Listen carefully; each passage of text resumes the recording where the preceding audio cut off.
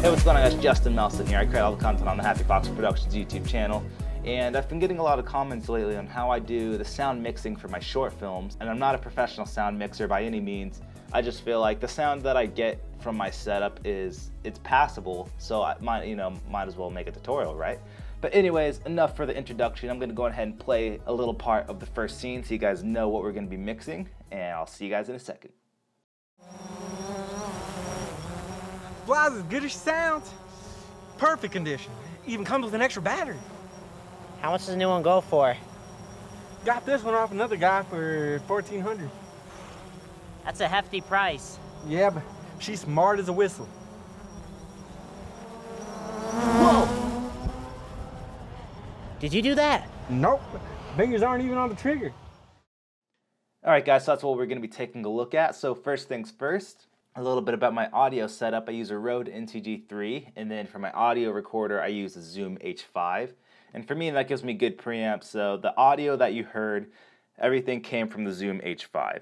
Now, the first thing I do is I record dual audio, so I have my audio recorder and my camera, and then I sync it all in post-production. And typically the way I do that is I instead of having to actually sync it all by hand, which I used to do, I honestly let Premiere Pro do the work, which is extremely valuable. So let's say you have a clip like this. You know these are the two clips that need to be synced together, but you really don't have the time or you, we didn't have a large enough slate to actually find a marker for us to slate. So you could just honestly highlight it all, hit synchronize, audio, and boom, Premiere synchronizes it for you and then I just alt click on this. Oops, alt click on that, delete that. We no longer need the uh, scratch audio, and now we have our audio from our professional setup. and simple enough, right? Simple enough. So now we have, let's see what we got. So, um, do you fly here out here often, or? Uh... Nice acting, Dylan. So, now, typically the way I do it is I like to get all my clips synchronized, and then after I synchronize them, I put them all in one timeline. I usually call it editing sequence or something along that. And I clip out all the best takes that I like. And me, because I know the way I work and the way I direct, because I'm editing the films that I direct, I know that typically the best takes are the last takes because that's when we stop rolling because I know we got it. So most of the time I go towards the last, the end of each take, and that's usually the one that I like and then I drag it into my main sequence, or I'm sorry, I drag it into another sequence, and then I do the full cut. Once I have a cut locked for the actual dialogue scene, it should only sound like this. Flies as good as she sounds. Perfect condition. Even comes with an extra battery. Got this one off another guy for 1400 And it sounds okay, but it doesn't sound professional whatsoever. It's what it sounds like is we had a decent mic that was close enough to their faces, and that's it. But that's not going to cut it when it comes to professional cinema or these days YouTube, because everyone on YouTube is getting so good now. It's crazy. Um, so the next thing I like to do is I like to do a temp mix. So once I have everything roughly mixed, I go ahead and start adding on the actual sound elements that I need. So I went out and recorded some Foley of the quadcopter and some Foley of just the ambient neighborhood. So this is the next asset that I add in there.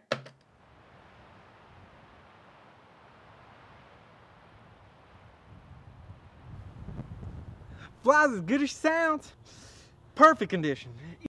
And that was just a little bit of ambient, some nat sound, just to give it a little bit of a, a weary sound to the scene. Because no scene is ever completely quiet. And I feel like that's a mistake a lot of people make. They want to add noise reduction, they want to make their scene as quiet as possible, but in reality, nothing is ever completely quiet. So it's always good to have a little bit of room tone, nat sound, ambient sound, whatever you want to call it. It's always good to have a layer of that under your mix. You typically want every sound in your scene or short film or feature film to have a meaning for it.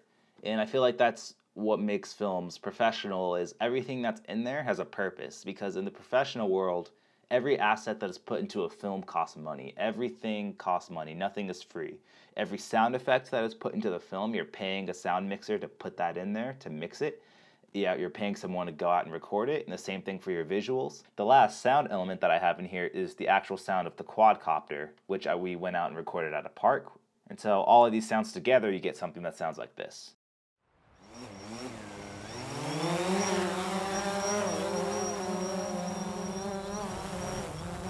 Flies as good as she sounds.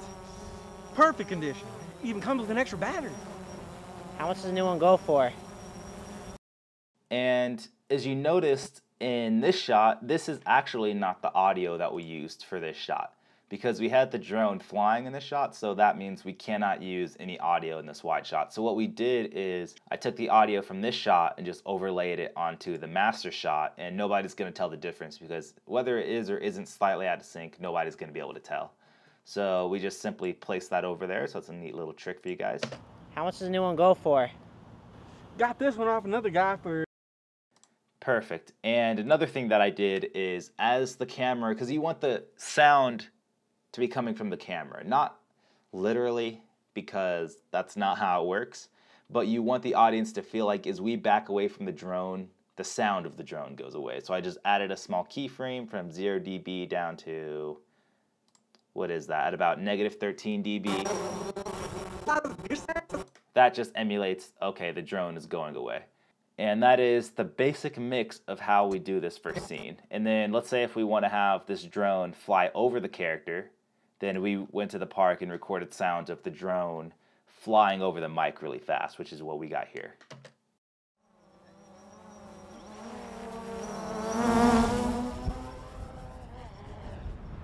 Nope.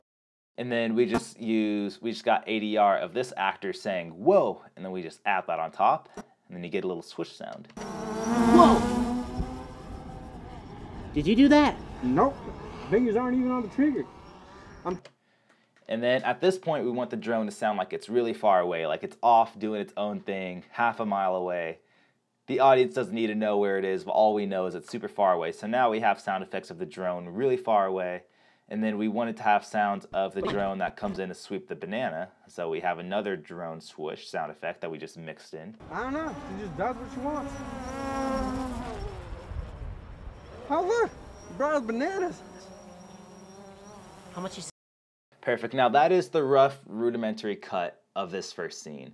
We have everything cut and we have all of our sound mixed roughly. We're going to take this out of Premiere Pro, guys, because Premiere Pro is a great audio editing platform, but sometimes you have to take it up a notch. And so what we're going to do is we're going to go into Adobe Audition.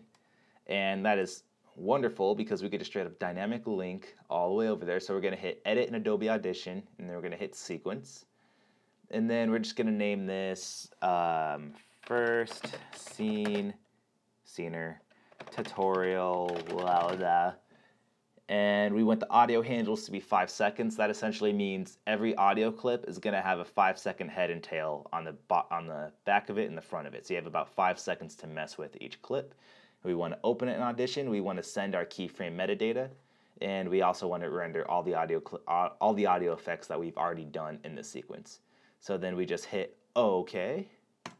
And here we are, guys. We are now inside Adobe Audition. And the great thing is, is we are in the edit audio to video mode. So that means we can have our video here, or if you have a dual screen, sometimes I like to take my screen onto my second monitor. But for you guys, I'll keep it here.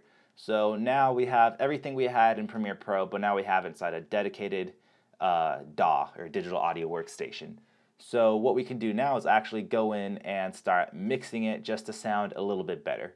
So the first thing, which is just a little bit extra information, we recorded using the Rode Blimp with the with the dead wombat or wombat dead cat on top of the mic, and that gives it a real muffled sound. So the audio off the bat sounds slightly muffled, not extremely muffled, but I'm sure if you had a really professional audio system, you could definitely hear. I used the JBL LSR 305 studio monitors going into the Focusrite uh, 2i4. So I could hear a good amount of detail in this, and I could definitely tell there needs to be some mixing done. And what I used to do a while ago is I'd go into every single clip and mix every single one, or I'm sorry, edit every single one. And I realized why do that when you can just edit your actual timeline? Right now I'm going to go in track effects because I everything I want to happen is going to happen on this track. And so I, what the first thing I'm going to do is make sure my timeline is organized. I want to make sure all my dialogue is on this first track. So right here, just move them up there. And for the sake of the tutorial, I'm not going to go through the entire track and do it, but you just want to make sure all of your audio clips are in here. And then the next thing you want to do is add, well, what I like to do is add a little fade in between them. I just like to fade them together so it's not so abrupt. Sound, perfect condition. Even comes with an extra battery. Usually what I like to do is to add to the character, they're both kind of geeky kind of guys. He is a really weird Craigslist seller that's trying to get rid of this haunted drone, and he's kind of a pedophile kind of guy that's just really weird and has no friends. I guess that's the way to explain his character. At least that's what we were going for. And they both kind of have funny ways they talk. He likes to talk with a slur, like when he talks. So what I like to do is every time he does that, I like to animate the levels a little bit louder so the so it accentuates that area so the audience can really hear that he's slurring his words. Right now I don't have the time to do that, but you have to really go into that kind of detail when you're dealing with your audio. So like what we were going to do before, we're going to go into track effects. And the first thing I like to do is I like to go into filter and EQ, add a parametric equalizer, and then I like to, um, oh, oops, that's a notch filter. What am I doing? What am I doing?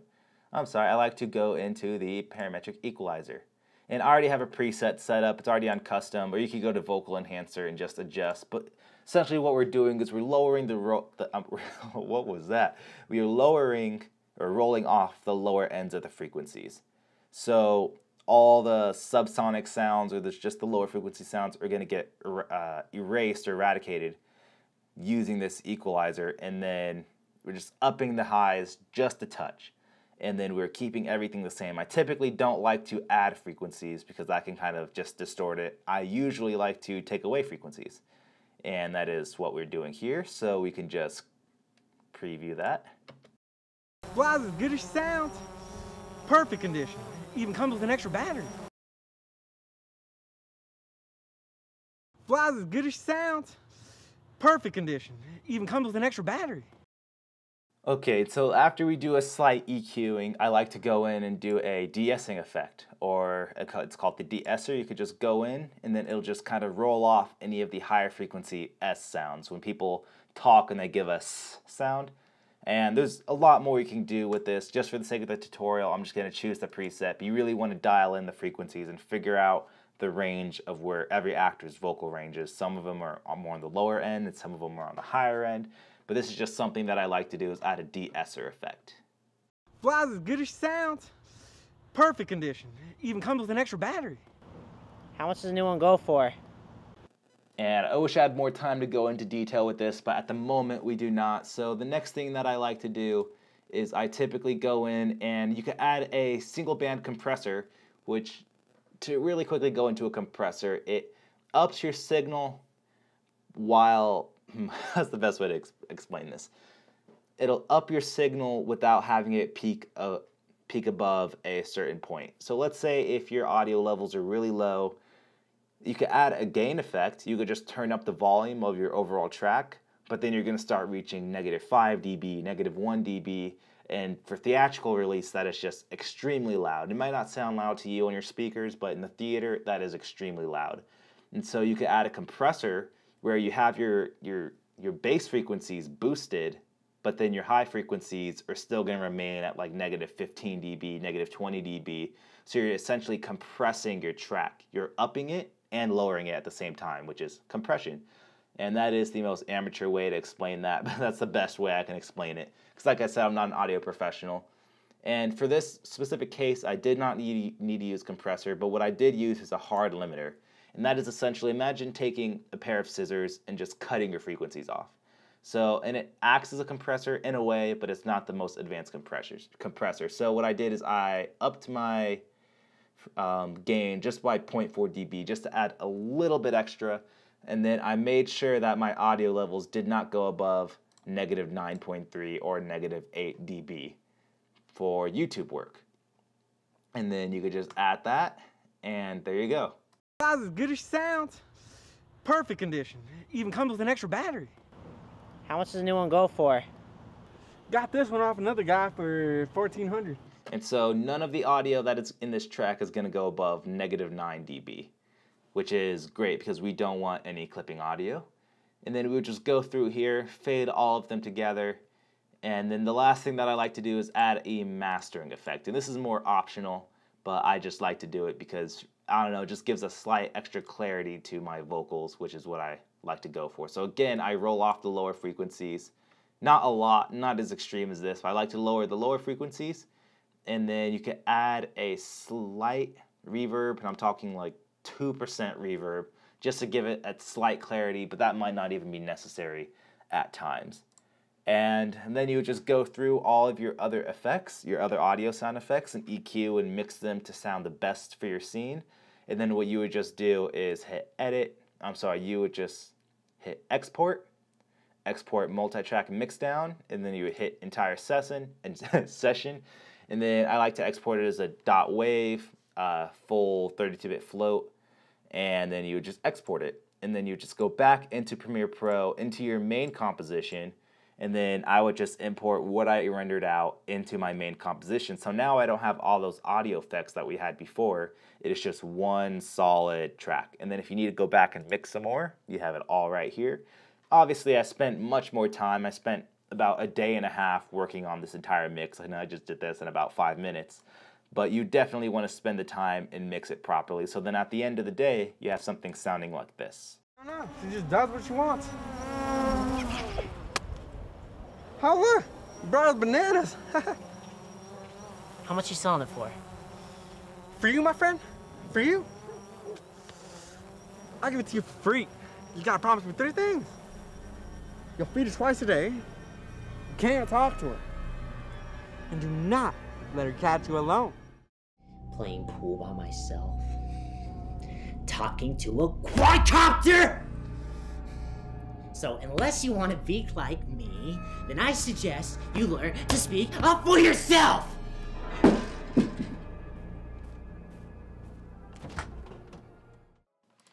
What a sad man.